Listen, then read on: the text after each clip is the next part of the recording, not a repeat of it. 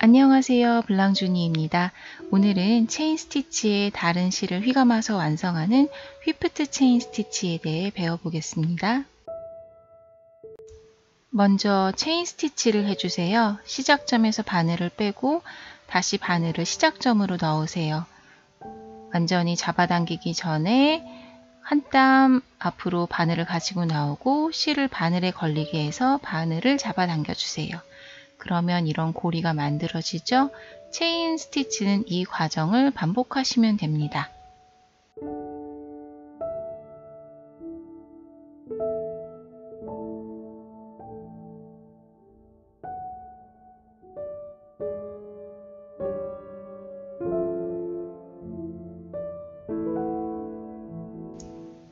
체인 스티치의 마무리는 만들어진 고리의 바깥쪽에 바늘을 넣어서 고리를 고정하면 됩니다. 이제 다른 색실을 가지고 이 체인 스티치를 휘감는 거예요. 시작은 첫 번째 고리의 중간 옆에서 바늘을 가지고 나오면 됩니다. 그 다음 체인은 바늘이 나온 반대쪽 그러니까 첫 번째 체인에서 실을 아래쪽으로 가지고 나왔으니까 두 번째 체인은 실을 위쪽으로 가지고 와서 아래로 통과시켜 주세요. 원단은 통과하지 않고 체인의 아래쪽을 통과시키는 거예요. 중요한 건 실을 통과시키는 방향은 항상 같아야 합니다. 저는 위에서 아래로 통과시켰기 때문에 계속해서 위에서 아래로 동일한 방향으로 실을 통과시켜 주고 있어요. 어느 쪽으로 휘감든 상관은 없고 방향만 동일하게 해주시면 됩니다.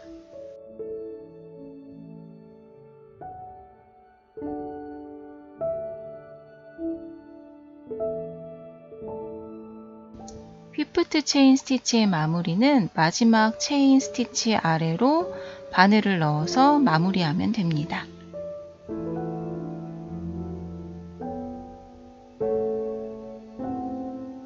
꽈배기 모양의 whipped 체인 스티치가 완성되었습니다. 이번에는 지난번에 만든 pincushion 둘레를 whipped 체인 스티치로 꾸며보겠습니다. pincushion에 사용했던 이 색상을 사용해서 통일감을 주도록 할게요. pincushion이 완성된 상태라 매듭을 안쪽에 숨길 수가 없으니까 매듭 없이 whipped 체인 스티치를 할게요. pincushion 속으로 바늘을 넣어주시고 체인 안쪽으로 바늘을 빼주세요. 매듭을 안 지었기 때문에 실이 완전히 빠지지 않을 정도로만 잡아당겨 주세요. 다음 체인 안에서 살짝 뒤로 한 땀 갔다가 앞쪽 체인의 옆으로 바늘을 가지고 나오세요.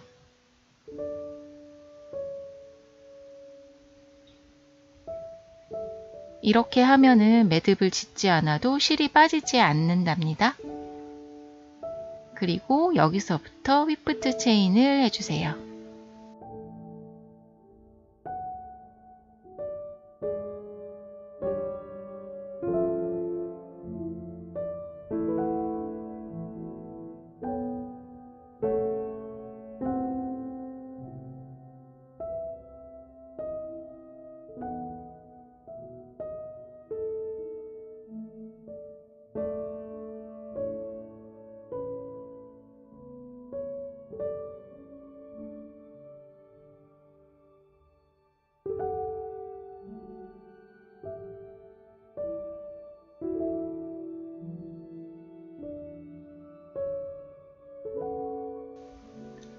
이제 마무리를 할게요.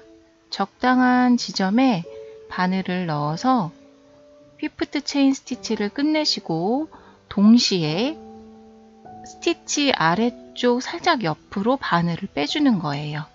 두꺼운 스티치라서 아래쪽에 숨겨서 마무리를 하면 잘 보이진 않아요.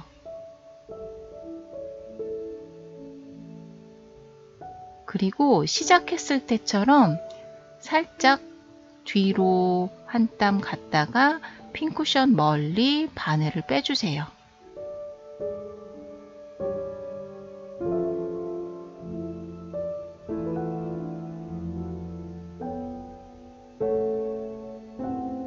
그리고 튀어나온 실은 정리해 주시면 됩니다.